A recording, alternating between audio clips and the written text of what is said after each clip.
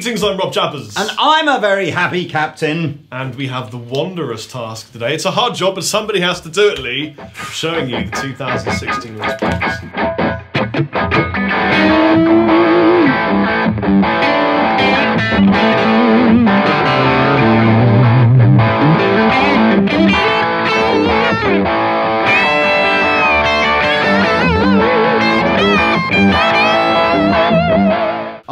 baby, baby. So look, let's clear up something to get things going. 2015, Gibson made the bold move of heavily innovating a much loved and cherished range of uh, cherished range even of Gibson guitars. Always going to be a difficult thing to do. Uh, very People don't like change. Not only do they not like change, they dislike having choice removed. Yes. Uh, and of course, in 2015, you kind of had to either like it or lump it with all the changes that Gibson had made to their, their range. So they listened, they learned, and I have to say, they have smashed it out the park with their 2016 range on every level.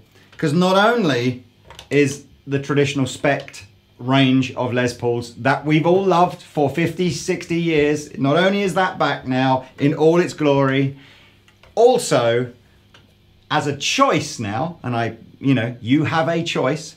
You can choose to go with, uh, in every single model of the range, a high performance version of the traditional spec. And, and I think high performance is the key. I mean, really, it is high performance. They've kind of thought of everything. They've made some improvements to the previous Yeah. version of this, and a couple of things that, as a player, just feel I mean, amazing. Yes. And you can bleep that f word out with. you can bleep Oh, that. And a couple of things that, as a player, just feel. Bleep oh, that. You can take that F and you can bleep it. Yeah. You can bleep it again. and then bleep it again.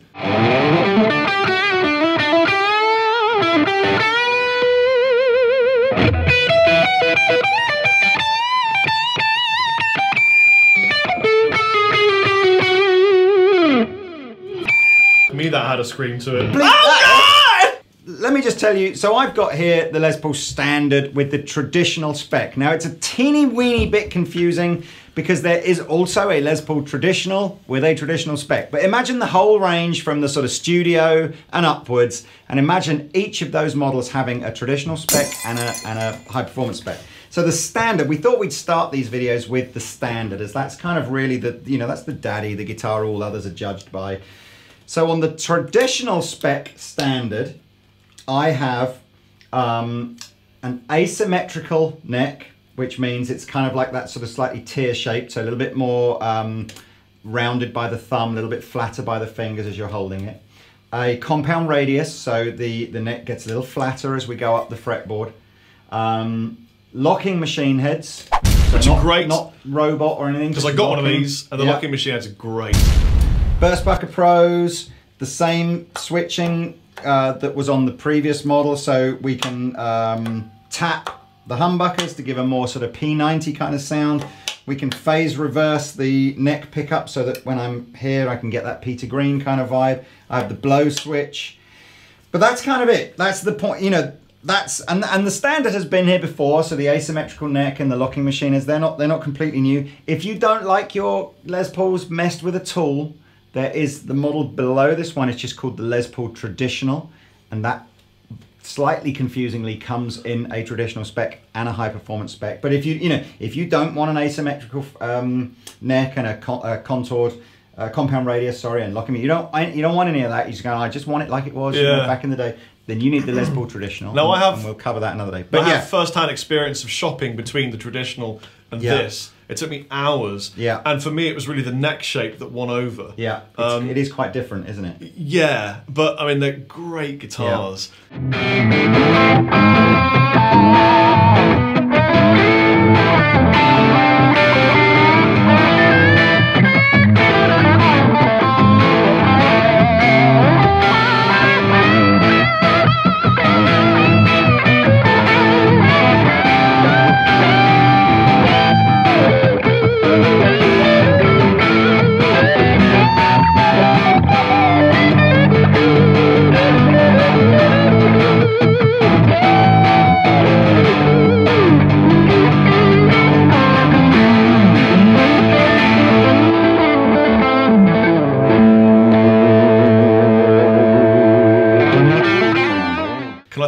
this one? Well, yeah. So, I, and my last thing is, uh, I just have the modern weight relief. So this is the Les Paul Standard, um, and comes in a ton of different colours. And I'm sure that by the power of glorious editing, uh, they will be appearing on your screen now. Yeah. But, so this is back. This is back in the catalogue. So everybody that kind of went, oh, I don't really like the direction they were going to in 2015, come back because you know. To Mordor we will we- take you. We have, you know, we have liftoff. Houston. No, that's the problem. It's not. I don't even know what that that said. But you know, here it is. We're back. But as Rob said, you got to hear about this high performance model because they really, really have. They've really thought about how to Yeah. kind of just give it a Houston, modern we don't tweak. have a problem. Yes, that's the that's what I was Gibson's looking for. back and it's Yes. doing great stuff, and I'm really happy that they are.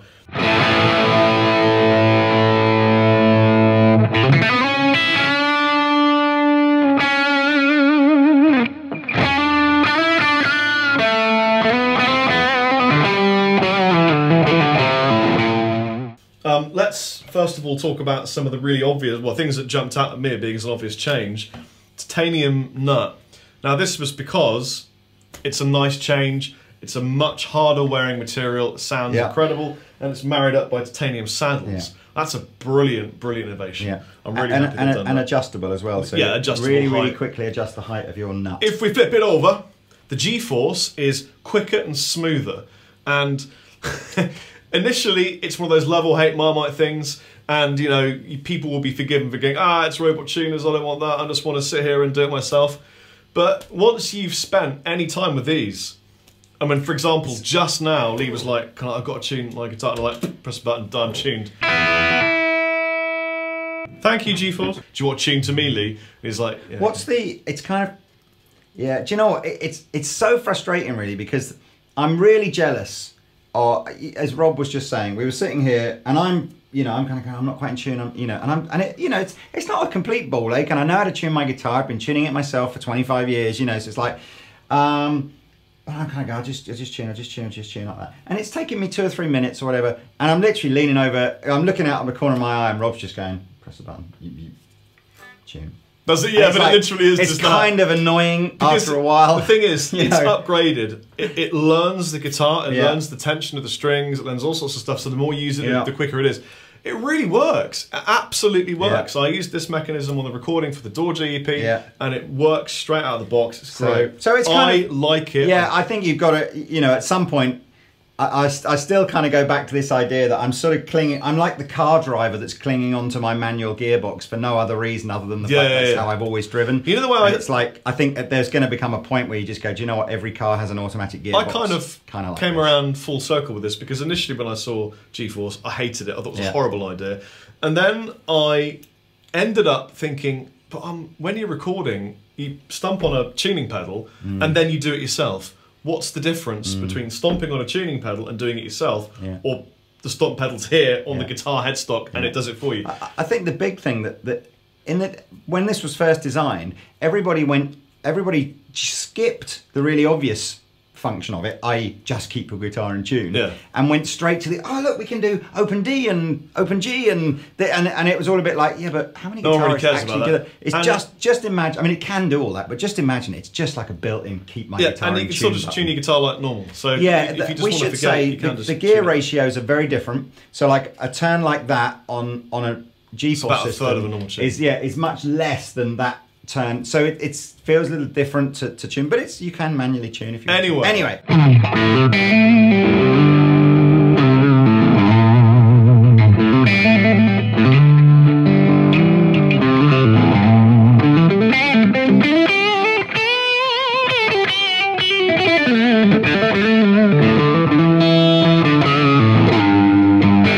Next thing, access. This is great. I think, in my opinion, this is the best change Gibson ever made because the heel joint. Forgive Yeah. me if I say this. I never really liked the heel joint in Les Paul. It always just got in the way a little bit. Yeah. It was always that thing that if you want to go up high, for me, it kind of got in the way. I mean you can play up high. I mean you, hear, course pe- you can. see people like Slash kind of doing all this sort of super fast stuff. Yeah, there. he's It's all Slash is great. I can't- I totally know what you mean. It's like this is great. you aren't and i'm i do you know i kind of kick myself in a way of thinking why wouldn't you have put that on the 2015 range it's just They've like- really thought it- about they it. really have it's like it's such a brilliant idea again to separate the idea of a, of a sort of a traditional spec guitar to Yeah. a to I mean, a it looks spec it looks guitar. sick. Of course, it looks so much sicker if you just take this off as well. That's it.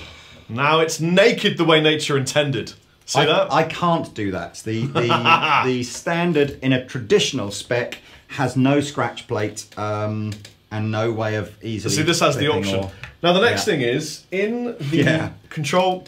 What do you call this compartment? cavity. Cavity. That's the thing. The film We're gonna- cavity. We're going to give you. we're going to give you a photograph or a sweep or something. Yeah. There are one, two, three, four, five dip switches. Now this is really innovative, and I can't remember them all, but they do things like giving you the option of choosing whether these are taps or splits. Yeah. That's a really cool thing.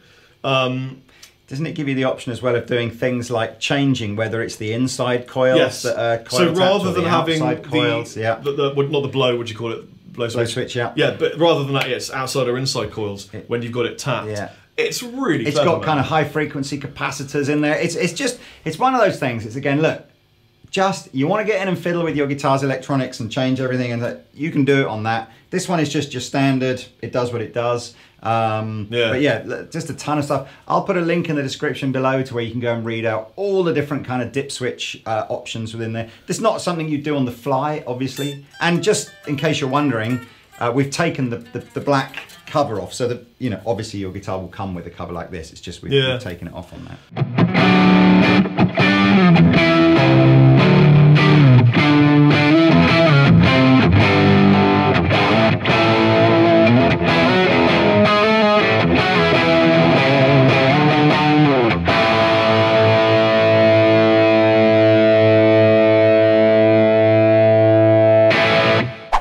2015 Les Paul range had a a three or four millimeter wider neck than the previous year. You know, like what you would be used to as a as a Les Paul neck. And I think for most people, that took the Les Paul and just completely changed how it felt.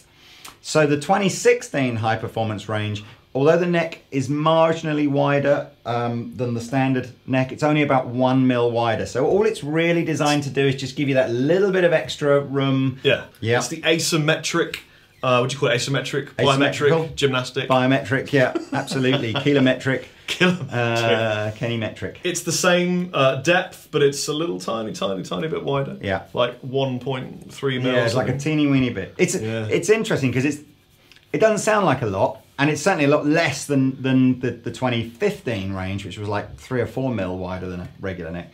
Uh, but when we were doing that Ibanez video the other day, the only difference between a wizard and a super wizard neck is one millimeter, and they and, and you do like go, yeah, this, that that feels pretty different, you know. For me, it was a huge difference. I immediately felt it, and then he was like, "It's one mil. What are you talking about?" I know it's crazy, but so But, so yeah. check them out.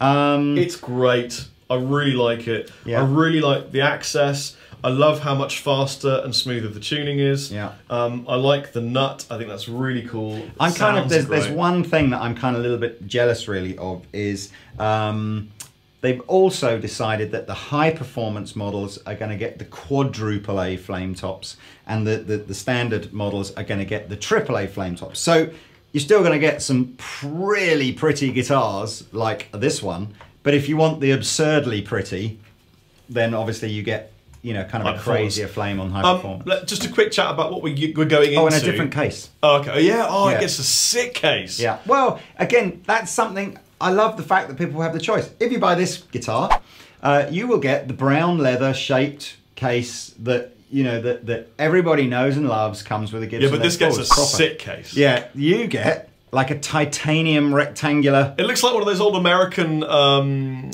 The Air, Winneba- not Winnebago. Uh, what's it called? Air things that Streamer. you pull behind your car. Yeah. Yeah, it looks like one of those. It's sick. Did we describe what that was? Do you know what we mean? Kind of like the, the what was it? It's called an Airstreamer, isn't it, or something? like that? Caravan, but you Yeah, in. England It's we would call it a caravan. caravan in but like a cross between a caravan and a torpedo. Yeah. It looked like one of those. They look really cool. Yeah, it looks cool. I'm going into a JCM 800, and in the effects loop, I'm using the Amplifire from Atomic, uh, just for reverb and delay. Yeah. And on the floor, I've got the EP booster, and I've just literally got myself slightly a clean tone from a JCM 800. Yeah. To give you some really simple tonages, so that you can hear the tonages.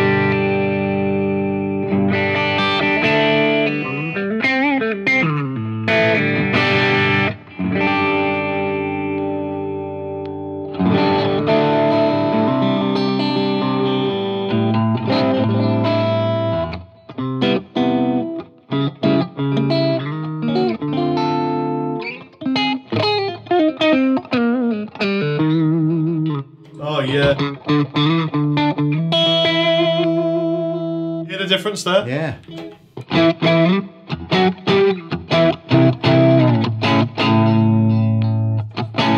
That's just which coils you're. Yeah, so I've got them both it? split and I'm changing. So I'll play a little bit of rhythm with it down and then I'll Yeah. bring it up for you.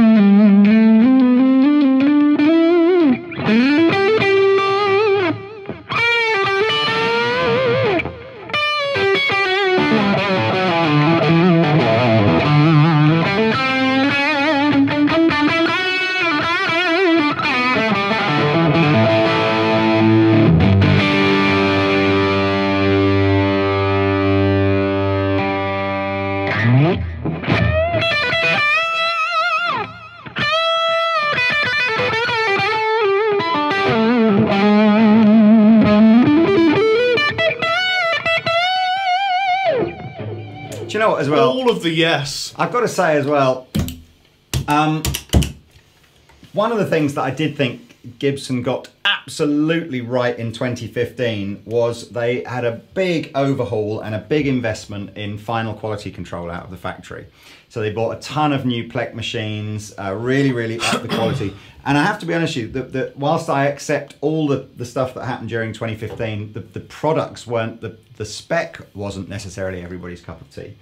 Um, the one thing I would defend Gibson to the hilt on was that they got the finishing and the general setup and the fretwork and everything on the Les Pauls or the whole range was spectacularly good. Now I've, I've never, I've always really felt that that that you know you could look at PRS like a PRS USA Custom and sort of go, it is on the whole a higher quality finish than a Les Paul. And that was up until the 2015 range where I really thought that Gibson pulled it out the bag and, and are now very much on par.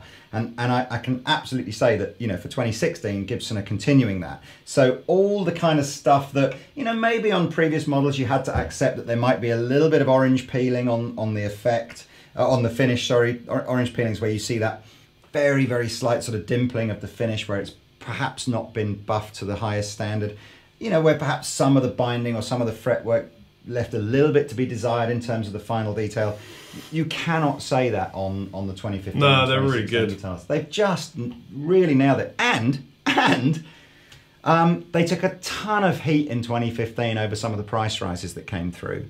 So the guitars have gone down. So that the 2016 range is cheaper now than the 2015 range was when it launched. So it's like there's really, you know, fair play for, for all the heat that they took. I know you guys gave them a really hard time on, or some of you guys gave them a hard time in 2015. They totally listened. They've totally tried to do you, you know, address everything that everybody said. They didn't want to stop innovating because Gibson is all about innovation, but they absolutely accepted there has to be choice and there has to be value. Yeah. Um, and they did a great job. I love it. You know, I mean, and we're going to do the whole range. You know, it's probably going to take us a month or two to get through them all. But you know, but we'll do the classics and we'll do the studios and we'll do the traditionals and stuff like that. We're going to do SGs after this video. But the, we thought we'd start with the standard because it's kind of like, you know, that's the that's the aspirational guitar, isn't it? Everybody dreams of one day owning a Les Paul Yeah, standard. got to have the uh, the Holy Um, Trinity. So Three Les Pauls. I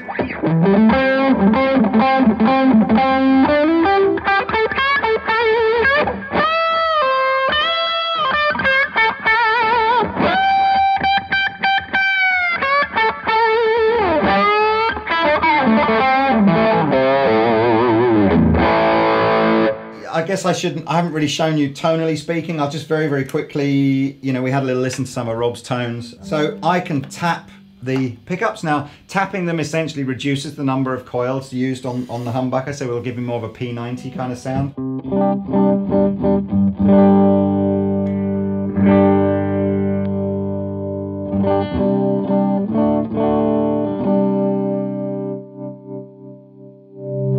Uh, if I use both pickups together, uh, one of the, uh, the, the pull out on the, the, the, the tone control will give me the phase reverse on the neck pickup, so that's my Peter Green kind of effect.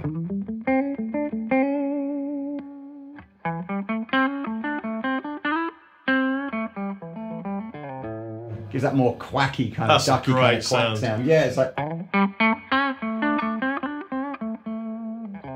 Nobody in the when that very very very first came out, nobody could work out you know why Peter Green sounded so totally different to everybody else. But uh, urban myth is it was a mistake, wasn't it? So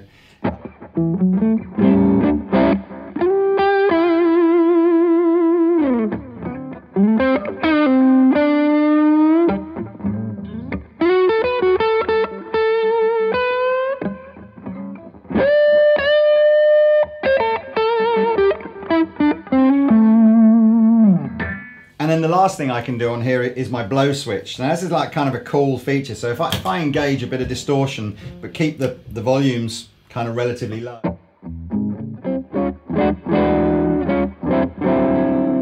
If I just want to go crazy full maximum bridge pickup, nothing in the way, without adjusting anything, I just pull out this back pickup, this back control, sorry.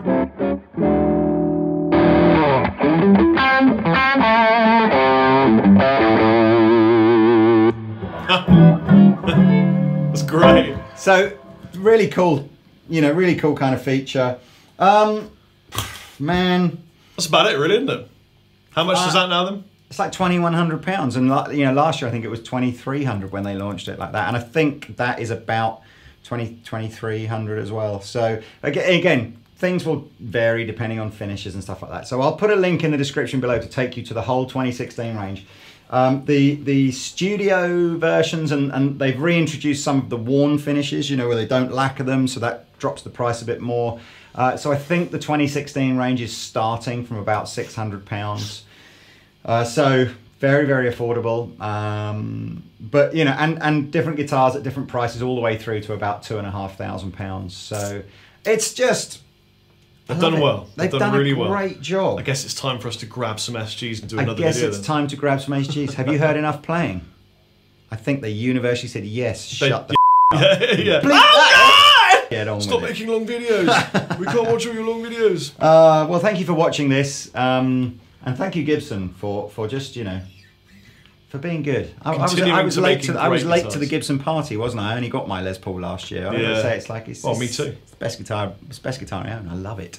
I love it. Did you hear that? That's the best guitar he's got. Yeah. Well, it's yeah. Ah, do you know what? No, I! I'm not. I'm not retracting that because I I, I am retracting It's the most expensive I do not well. use the word best in the sense of I should not have used the word best. I don't believe in best when it comes to guitars. I only believe Oh, in what you like and what you don't like. So it's my favourite guitar. Oh, I should go. I should change that to it's my favourite guitar. Well, in that case, I've been Rob Chapman. And I've been the captain. Bye. Ooh, close. I hit your, I hit your Les Paul. no! I did.